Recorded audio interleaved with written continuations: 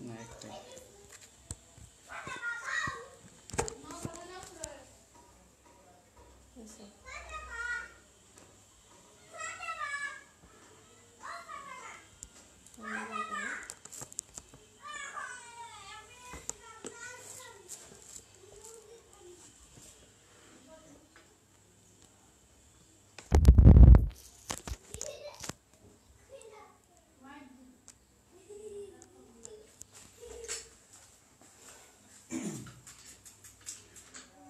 বিসমিল্লাহির রহমানির রহিম সুপ্রিয় শিক্ষার্থী আসসালামু আলাইকুম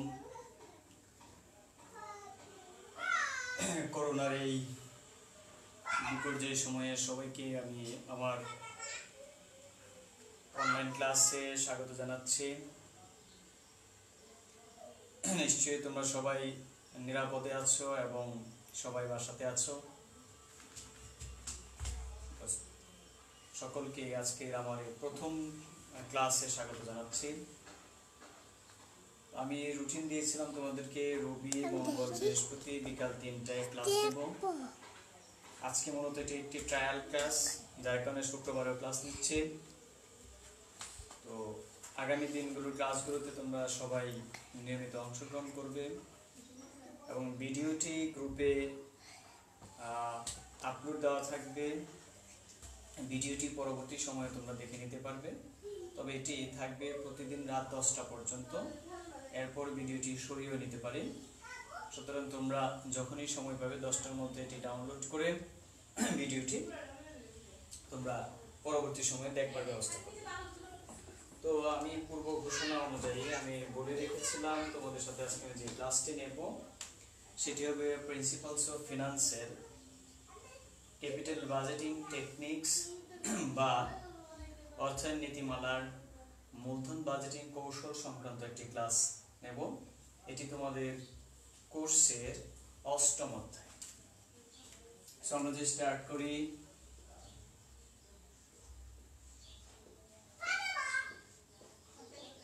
Chapter eight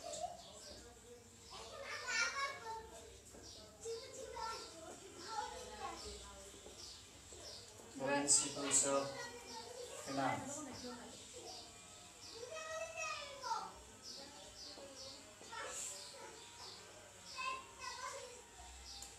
Chapter 8 Capital Budgeting Technique.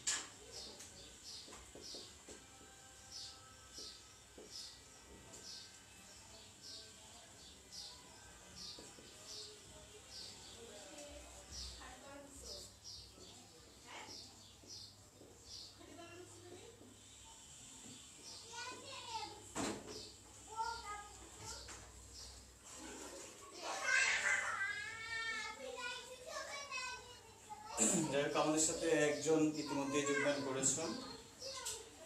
Capital budgeting technique অর্থাৎ মূলধন বাজেটিং কৌশল। আমরা যদি প্রথমে জানতে চাই যে মূলধন বাজেটিং কি?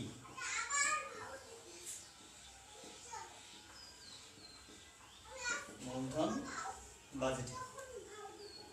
সবার আগে আমার মূলধন বাজেটিং জানতে হবে, তারপর মূলধন বাজেটিং কৌশল নিয়ে আমরা কথা বলব। মূলধন বাজেটিং হলো, আমরা সবাই জানি প্রত্যেকটি প্রতিষ্ঠানের মূল উদ্দেশ্য হচ্ছে অ্যাসেট ম্যাক্সিমাইজ করা, অর্থাৎ ওই প্রতিষ্ঠানটির সম্পত্তি সর্বাধিকরণ করা।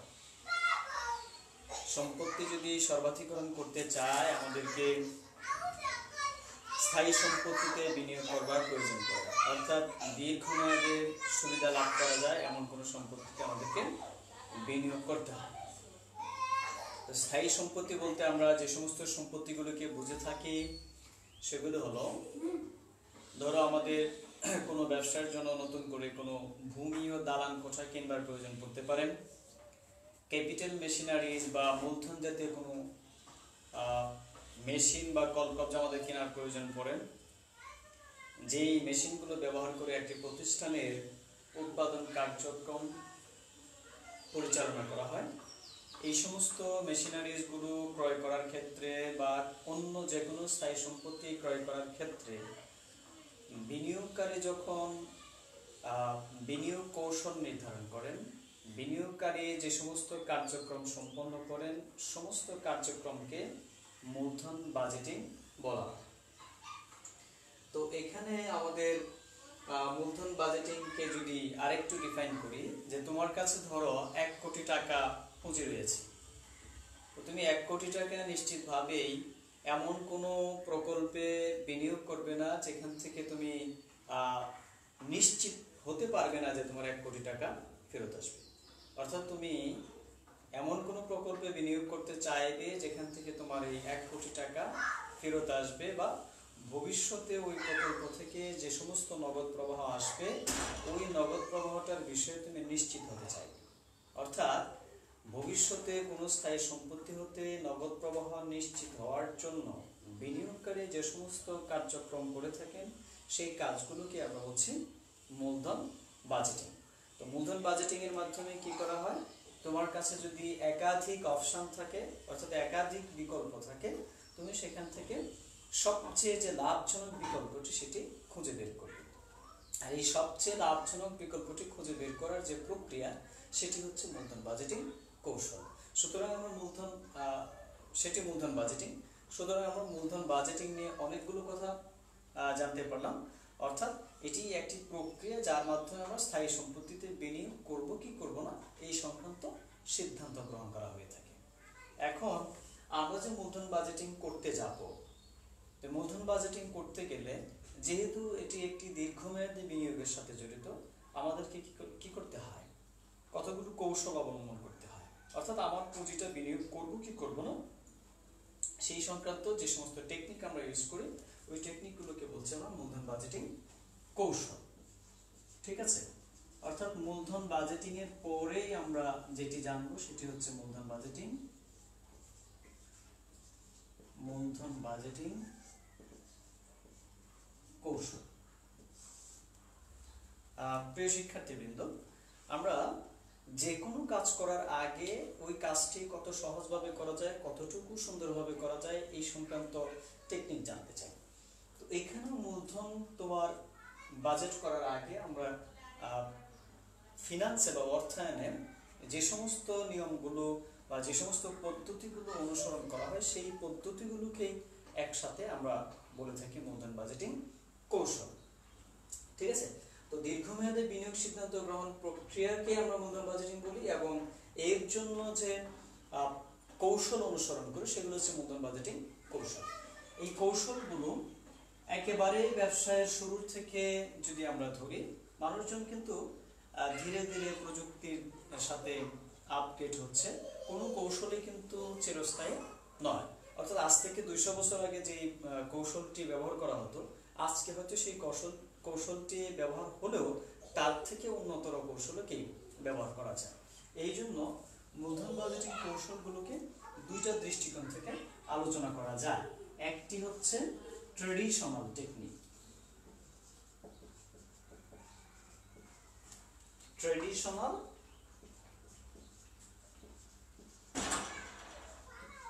technique another is discounted or এটাকে আমরা অনেক সময় বলে থাকি মডার্ন টেকনিক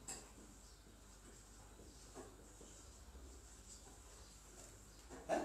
কৌশল সমূহকে আমরা ট্রেডিশনাল টেকনিক্স বলব আর ট্রেডিশনাল মানে একেবারেই অর্থায়নের শুরু থেকে, ব্যবসার শুরু থেকে মানুষ যে সমস্ত কৌশলগুলো অবলম্বন করত হ্যাঁ? যেগুলির অনেকটাই কি আমরা জানি অর্থায়নের সবচেয়ে গুরুত্বপূর্ণ যে অ্যাপ্রোচ সেটি হচ্ছে অর্থের সময় মূল্য, ওই ট্রেডিশনাল অ্যাপ্রোচগুলোতে অর্থের সময় মূল্যটাকে বিবেচনা করা হতো না। বাট এখন যে মেথডগুলো ব্যবহার করা হয়, সেটি হচ্ছে ডিসকাউন্টেড বা মডার্ন টেকনিক যেটি আমরা টাইম ভ্যালু বেসড টেকনিকও বলতে পারি। এখানে অর্থের সময় মূল্যটাকে বিবেচনা করা হয়। সো আমরা একটু ফিনিশিং এ আসি, যে মূলধন বাজেটিং কৌশলগুলোকে দুইটি দৃষ্টিকোণ থেকে আলোচনা করা। Number one traditional technique and another discounted or modern technique এর ভিতরে ট্রেডিশনালি বা সনাতন পদ্ধতিতে কিছু পদ্ধতি অনুসরণ করা হতো এবং আধুনিক পদ্ধতিতেও আমরা বিশেষ কতগুলো আহ, পরিমাপক ব্যবহার করি যাদের মাধ্যমে আমরা মূলধন সংশ্লিষ্ট আমার কাঙ্ক্ষিত প্রকল্পে বিনিয়োগ করব কি করব না এটা নিয়ে সিদ্ধান্ত নিয়ে থাকি। ঠিক আছে? তো আমরা প্রথমে দেখব যে ট্রেডিশনাল টেকনিকগুলো আসলে কি কি। ঠিক আছে? ট্রেডিশনাল টেকনিকগুলো তোমরা ইতিমধ্যে সবাই জানো ট্রেডিশনাল টেকনিকগুলোর মধ্যে একটি হচ্ছে পে ব্যাক পিরিয়ড। সংক্ষেপে আমরা সবাই জানি এটাকে পিভিপি পেব্যাক পিরিয়ড। এটার বাংলা হচ্ছে কি? মূলধন ফেরত সময় পদ্ধতি। মূলধন ফেরত সময় আরেকটা টেকনিক আছে average or accounting accounting rate of return সংক্ষেপে এটাকে বলা হয় এ আর ঠিক আছে?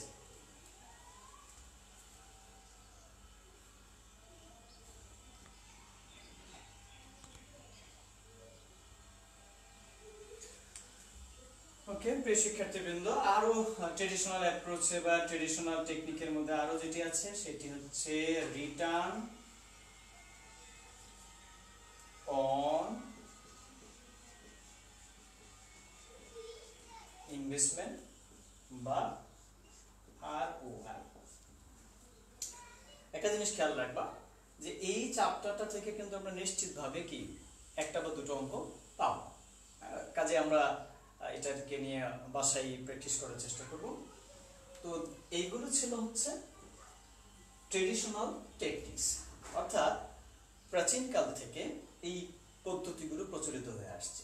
আমরা প্রথমে যদি পেব্যাক পিরিয়ড নিয়ে কথা বলি যখন পেব্যাক পিরিয়ডটা প্রয়োগ করা হয়, তখন বিনিয়োগকারীদের চিন্তা ভাবনা ছিল যে তারা যে সমস্ত প্রকল্পে বিনিয়োগ করবে, সেই প্রকল্প প্রকল্পগুলোর মধ্য থেকে যেই প্রকল্প থেকে তাদের বিনিয়োগকৃত অর্থ সবচেয়ে আগে ফেরত আসবে, সেই প্রকল্পে বিনিয়োগ করবে। বিষয়টি এমন, ধরো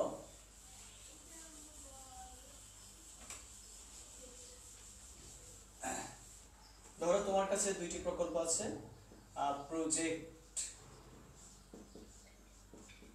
এ একটি প্রকল্প, আরেকটি হলো প্রজেক্ট বি তো এই দুইটা প্রকল্পে আমরা প্রাথমিকভাবে বিনিয়োগ করব।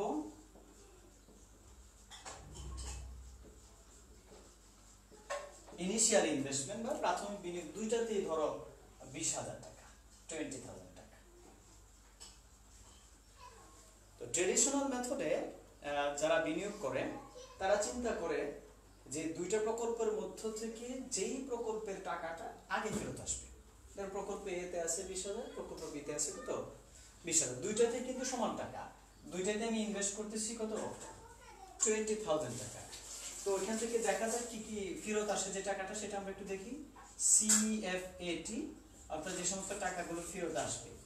CFAT cash flow after tax তো আমরা দেখতে পাচ্ছি যে এই প্রকল্পটাতে যদি আমরা বিনিয়োগ করি পাঁচ বছরের জন্য হয়তো আমরা বিনিয়োগ করব। তো সিএফএটি দেখলাম প্রথম আসতেছে পাঁচ হাজার, ছয় হাজার, এখানে ধরি সাত হাজার, আট হাজার, পাঁচ হাজার। অর্থাৎ পাঁচ বছরে এই প্রকল্প থেকে আমরা যে সমস্ত টাকা পাবো, এটার পরিমাণ দেওয়া আছে পাঁচ হাজার, ছয় হাজার, সাত হাজার, আট হাজার এবং পাঁচ হাজার। এইখানে দেখা গেল আমরা টাকা পাচ্ছি চার হাজার দশ হাজার। আবারও ধরলাম যে এখানে তিন হাজার দুই হাজার। এখানে ধরলাম পনেরো হাজার দেখো, আমরা দুইটা প্রকল্পে বিনিয়োগ করেছি বিশ হাজার বিশ হাজার করে। আর প্রকল্পগুলো থেকে টাকা পাচ্ছি হলো পাঁচ হাজার, ছয় হাজার, সাত হাজার, আট হাজার, পাঁচ হাজার, এরকম করে টাকা পাচ্ছি। এইটা যদি আমরা হিসাব করি, পাঁচ আট ছয়, এগারো, এগারোর সাথে আঠারো। আঠারো আর আটে হচ্ছে এই পর্যন্ত, দেখো, সব মিলিয়ে যদি আমরা হিসাব করি, একত্রিশ হাজার টাকা এই প্রকল্প থেকে আমাদের আসছে, টোটাল। আর এখানে আমার টাকা আসছে চোদ্দ, সতেরো, উনিশ, চৌত্রিশ হাজার টাকা। কাউকে প্রশ্ন করি যে তুমি কোন প্রকল্পে বিনিয়োগ করবে? অ্যাকাউন্টিং এর স্টুডেন্ট বা বিজনেসের ডিপার্টমেন্টের স্টুডেন্ট যদি না হতো তাহলে স্বাভাবিক উত্তর দিবে যে প্রজেক্ট বিতে আমি ইনভেস্ট করব। হওয়া উচিত তাই? কারণ প্রজেক্ট বি থেকে আমরা টোটাল যে টাকাটা পাবো, সেটার পরিমাণ দাঁড়াচ্ছে চৌত্রিশ হাজার। আর প্রজেক্ট এ থেকে সর্বমোট যে টাকা পাবো, সেটার পরিমাণ দাঁড়াচ্ছে কত? একত্রিশ হাজার। তো তাই হওয়ার কথা এটাতে বিনিয়োগ করার কথা কিন্তু না। আমরা এদিকে একটু খেয়াল করব। দেখো, আমার বিনিয়োগকৃত যে বিশ হাজার টাকা আছে, এই টাকাটা এই প্রকল্প থেকে চলে আসবে প্রায় পাঁচ হাজার, ছয় হাজার, এগারো হাজার, আঠারো হাজার এবং ছাব্বিশ হাজার। অর্থাৎ চতুর্থ বছরে আসে ছাব্বিশ হাজার। তার মানে বিশ হাজার টাকা ফেরত আসতে চার বছরেরও কম সময় লাগবে। কিন্তু এখানে আমার চার, চোদ্দ, সতেরো, বিশ হাজার টাকা ফেরত- ফেরত আসতে গেলে আমাকে অবশ্যই পঞ্চম বছর পর্যন্ত অপেক্ষা করতে হবে। পেমেন্ট পিরিয়ডে যেটি করা হতো, যে এখানে যে টাকাটা ফেরত আসবে এটাকে বলছে কি? পেব্যাক পিরিয়ড তো এটার পেব্যাক পিরিয়ড কম। কি? এটার পেব্যাক পিরিয়ড হবে below four years below four years আর এটার হবে কি? অ্যাবাভ ফোর ইয়ার্স তাই না? এটা হবে চার বছরের বেশি। পিরিয়ড মেথডে আমরা এটাকে অ্যাকসেপ্ট করব। মূল থিমটা হচ্ছে, যেই পদ্ধতিতে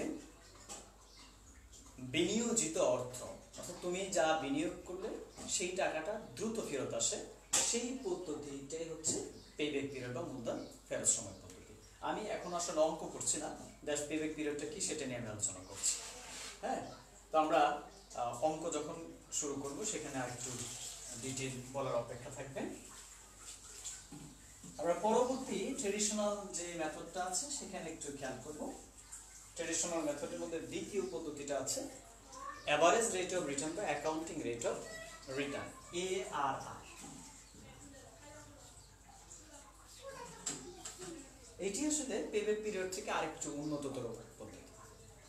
এখানে তারা যে বিষয়টি বিবেচনায় নিত, যে না কত দ্রুত সময়ে টাকা ফেরত আসছে এটার থেকে আমার আমি যদি গড় হিসাব করি যে শতকরা কত পার্সেন্ট আমার প্রফিট হচ্ছে।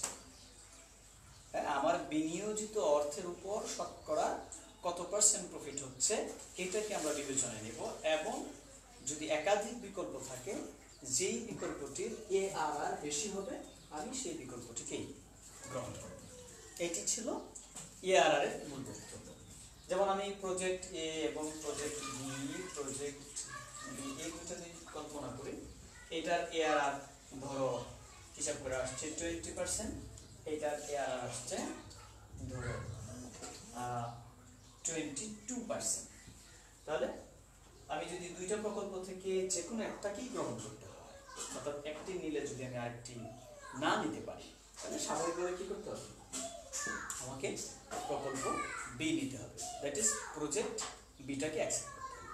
এটি হচ্ছে এআরআর এর মূল বক্তব্য কিন্তু না, এই এআরআর এর পরে আরেকটি পদ্ধতির আবির্ভাব ঘটে, সেটি হচ্ছে আর ও আই আমরা ইতিমধ্যে আর এর মানে জানছি।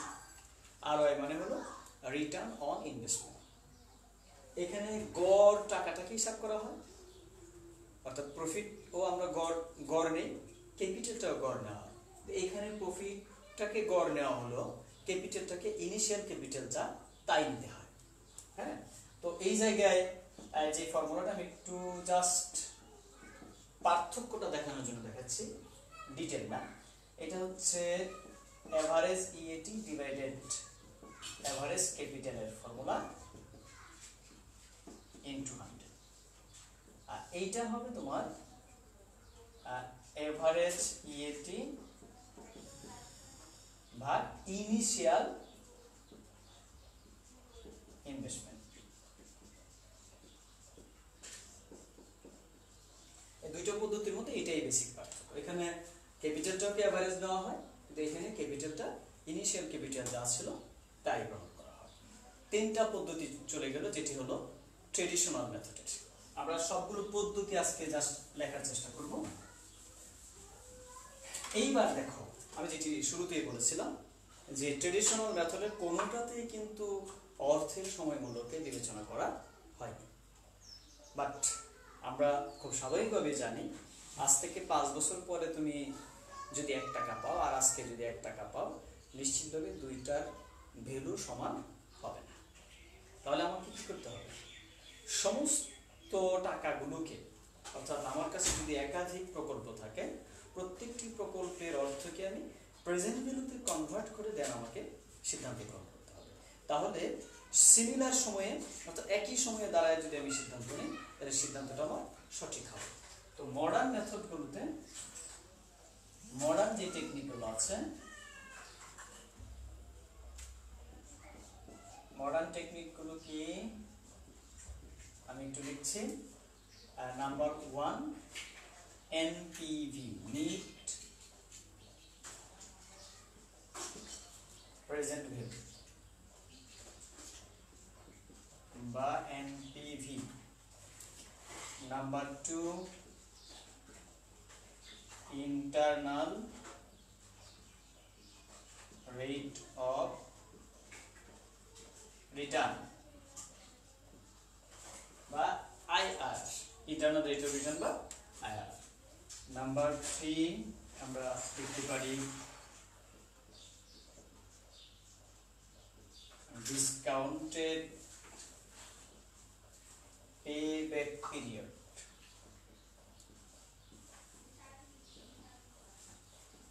বা শর্টকাট ডিপিবি ওই ট্রেডিশনালটাকে আধুনিকে আনা হয়েছে, শুধু ফরম্যাটটা হচ্ছে কি? ডিসকাউন্ট করে দ্যাট ইজ প্রেজেন্ট ভ্যালুতে কনভার্ট করে আমরা পেবেক পিরিয়ড বের number four profit ability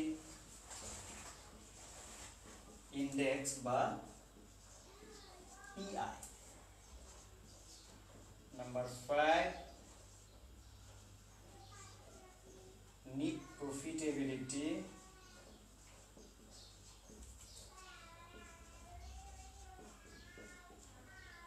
Index by NPI. Number 6 modify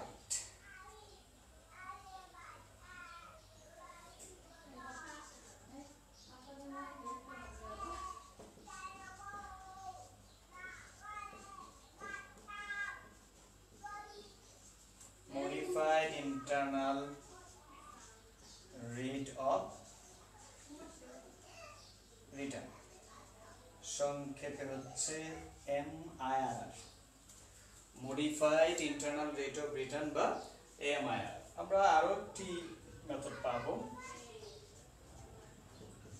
সেটি হলো net terminal value method net terminal value method shortcut যদি করি NTVM NTV finally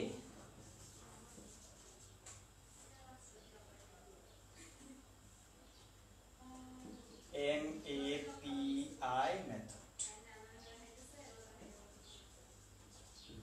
এটি হলো তোমার মেশিন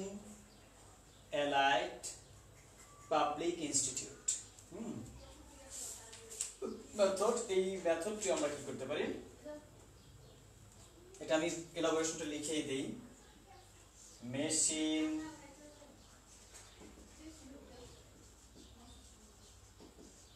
অ্যালাইড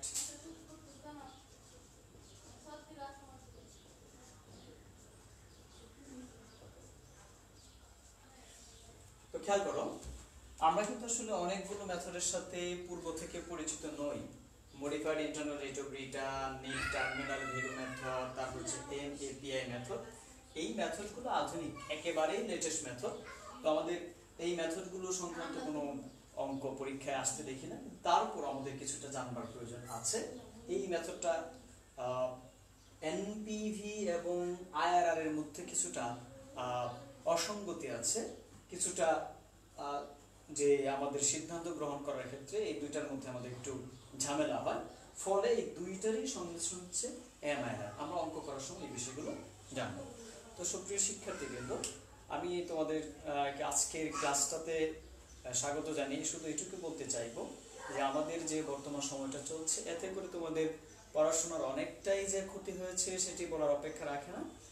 তথাপি আমরা দেখতে পাচ্ছি একেবারে প্রথম শ্রেণি থেকে দশম শ্রেণি পর্যন্ত অনলাইন ক্লাস হচ্ছে। তোমাদের তো আসলে সেইভাবে ক্লাসটা সেখানে ব্যবস্থা নেই। তো আমি ব্যক্তিগতভাবে সরকারের যে সিদ্ধান্তগুলো আছে, সেগুলোকে আমার মনে হলো যে যদি আমি নিজের জায়গা থেকেও কিছুটা এগিয়ে আসি, সেটিও কার্যকর হবে।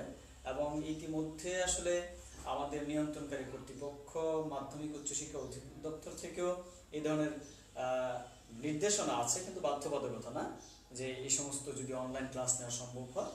আমরা যেন নিই। তো আমরা তিন দিনের যে ক্লাসটি, আমি ইতিমধ্যেই তোমাদেরকে শিডিউল দিয়েছি। রবিবার আমি দেখাবো বেষ্টিক অর্থনীতি, যেটি ক্লাসে আমার সাথে তোমাদের হয়ে থাকে। যতটুকু বাকি আছে এখানে শেষ করার চেষ্টা করব। তারপর মঙ্গলবার দেখাবো প্রিন্সিপালস অফ অ্যাকাউন্টিং হিসাব বিজ্ঞান নীতিমালা, বৃহস্পতিবার দেখাবো আমি প্রিন্সিপালস অফ ফিনান্স আজকে জাস্ট আমি তোমাদের সাথে কথা বলার জন্য যেটি করলে তোমাদের কেমন রেসপন্স হয় সেটা দেখার জন্য এসেছি। তো আমি মূলধন বাজেটিং এর যে কৌশলগুলো আছে সেগুলো লিখে দিয়েছি। আমরা আগামীতে কোনো পার্টিকুলার অঙ্কের মাধ্যমে কৌশলগুলোর প্র্যাকটিক্যাল প্রয়োগ এবং এই কৌশলগুলো প্রয়োগ করে কীভাবে আমরা সিদ্ধান্ত গ্রহণ করি, কীভাবে প্রতিষ্ঠানগুলো সিদ্ধান্ত গ্রহণ করে, এইটাও দেখবার চেষ্টা করব। তোমাদের প্রতি বিনীতভাবে আদেশ, নিষেধ, নির্দেশ যাই বলো না কেন, তোমাদের প্রতি আমার আহ্বান থাকবে, এই মেথডগুলো তোমরা নিজের বাসায় একটু পড়বার চেষ্টা করবে। মনে রাখবা যে এই পরিস্থিতি থেকে অবশ্যই আল্লাহ আমাদেরকে উদ্ধার করবেন, কিন্তু উদ্ধার হওয়ার পরে কিন্তু আমাদের কাছে গুছিয়ে নেওয়ার সময় আমরা পাবো না। অনেক বিষয় আমাদের সাথে কি থাকবে? একত্রিত হয়ে যাবে, জ্যাম পড়ে যাবে। একটু একটু একটু একটু বাসায় পড়ব। আর সবাইকে অনুরোধ করছি, এই সময়টাতে বাইরে ঘোরাফেরা করার দরকার নেই। আমরা সারাদিন বারবার গরম পানি পান করার চেষ্টা করব। ভিটামিন সি জাতীয় খাবারগুলো খাব, যেমন লেবু, তারপর মালটা, আনারস হ্যাঁ তারপর হচ্ছে তোমার আঙ্গুর, এই ফল ফলাদিগুলো আমরা খাব এবং নিজেরা বাসায় থাকব, নিরাপদ থাকব, সবাইকে নিরাপদ রাখার চেষ্টা করব। সবাই ভালো থাকো পরবর্তী ক্লাসের জন্য আহ্বান জানিয়ে আজকে শেষ করছি। আল্লাহ হাফেজ আসসালামু